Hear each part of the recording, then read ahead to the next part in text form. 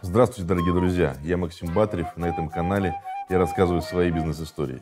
Иногда, чтобы не попасть в просак, достаточно послушать человека, по который попал в похожую ситуацию.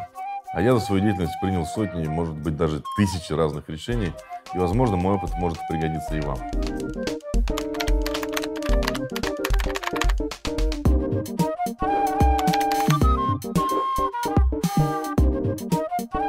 Сегодня я расскажу вам историю, которая мне самому ну, не очень нравится.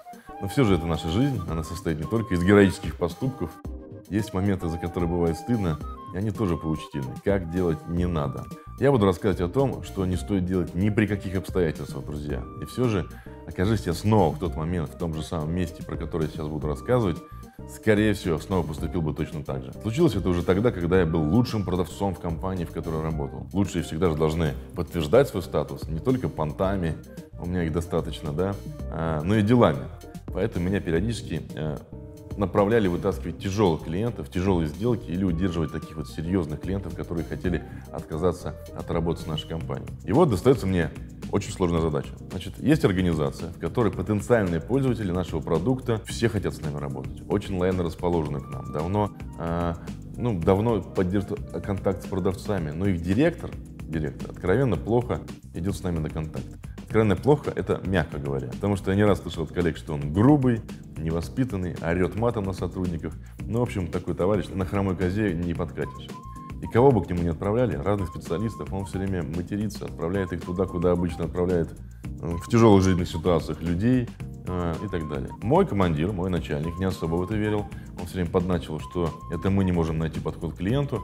Ну и решил, в общем, послать туда меня. Говорит, директор, типа, приятный человек во всех отношениях, репутация у него хорошая, просто наши сотрудники не справляются, они слабые переговорщики, да. Ну, что мне делать? Естественно, я согласился и поехал к этому сложнейшему в моей жизни, наверное, клиенту. Поставил перед дверью, мне же страшно, да, я такой до 10 досчитал, обратно с 10 до 1 досчитал, выдохнул, зашел. Здравствуйте, Накентий Смоктунович. Меня зовут Максим Батрев, я ведущий специалист компании. И тут стоп, потому что я даже не успел представиться. Директор очень э, ласково, в кавычках, встал со словами «Да как же вы меня за...» Взял телефон и кинул в меня. Такой телефон, знаете, не мобильный, а такой стационарный, где спиралька идет и трубка прикручена к самому аппарату. Телефон летел очень красиво, врезался в стенку возле меня, что-то там от него отлетело. Я, честно говоря, даже не знал, как поступить в этот момент. Во мне что-то щелкнуло. Я наклонился, взял этот телефон, ну и отправил его Иннокентию Змухтановичу обратно. Если вы видели лицо этого товарища в этот момент, вы бы запомнили его навсегда. Конечно же, я не продал, друзья, результата не было. И, конечно, так делать никому не надо никогда. Когда я вернулся в офис, моей истории не только все поверили, потому что те, кто с Иннокентием Смоктуновичем сталкивался, они знали, о чем идет речь.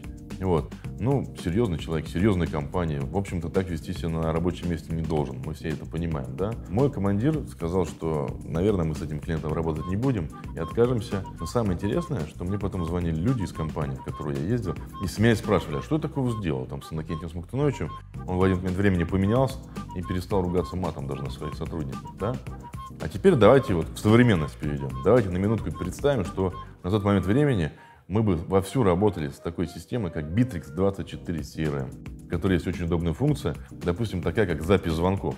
Все входящие, исходящие телефонные разговоры записываются, сохраняются в карточке клиента. Когда я стал начальником, я вот часто прослушивал телефонные разговоры своих подчиненных, да? Выбираешь карточку на обум или, наоборот, целенаправленно, открываешь нужный проект анализируешь работу своего коллеги, который до этого работал уже с клиентом. Все записи остаются в Bittrex 24 конфиденциальными. Они ограничивают доступ в соответствии с ролями пользователя. Роли бывают разные.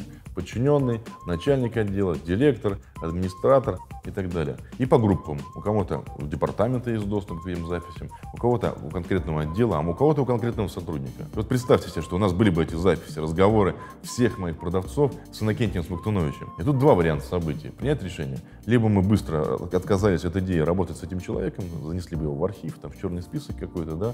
Либо, что с нашими амбициями звучит более вероятно, мы бы сели всем отделом, прослушали бы все записи, устроили бы мозговой штурм, как с этим человеком поступить, да, как наладить отношения, взаимоотношения с этим клиентом. Ну, вот такого человека, что поделать, да.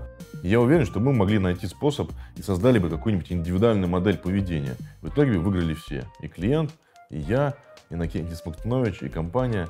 Ну, в общем, всем было хорошо. А так каждый из нас, считаю, начинал заново свою работу с несговорчивым директором, да, и каждый раз на одни и те же грабли наступал. Ну, потому что плохо знали специфику этого человека, и каждый раз все ошибались. Ну, может быть, тогда не надо было бы телефоном кидаться в ответ, а стоило поступить как-нибудь по-другому. Но это уже совсем другая история, что об этом говорить.